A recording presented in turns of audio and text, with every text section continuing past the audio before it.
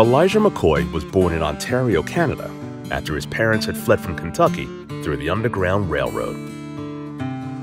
He was educated as a mechanical engineer, but due to racial barriers at the time, he could only find work on the Michigan Central Railroad as a fireman shoveling coal and as an oiler lubricating axles and engine parts with a handheld oil can.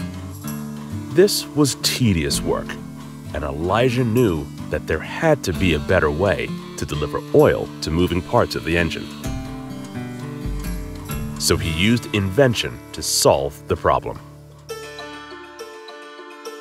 On July 23, 1872, he patented a lubrication device that allowed locomotives to oil themselves.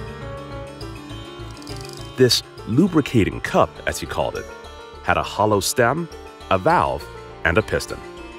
When steam from the engine acted upon the piston, the valve would raise, allowing the oil to pass into the engine and distribute evenly over its moving parts.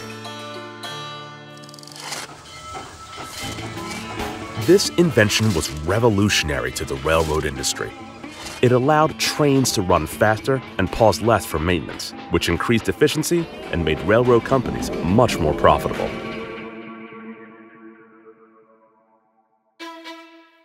Despite this, Elijah McCoy never had enough money to produce the device in large numbers himself. So he had to assign the patent rights to his employers or sell the rights to investors. Regardless, he continued to improve the device, collecting over 57 patents in his lifetime. Most of them were to improve the lubricating cup, but he also invented versions of ironing boards and lawn sprinklers, among other things. While there is no hard evidence, it's possible that the term the real McCoy was coined by railroad engineers who wanted to avoid using inferior knockoffs of Elijah McCoy's lubricating cup.